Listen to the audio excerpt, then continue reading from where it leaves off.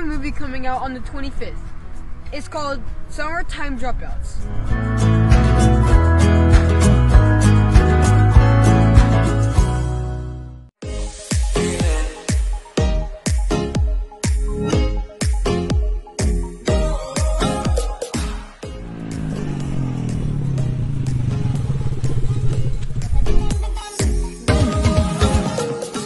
Hey, it's Chris.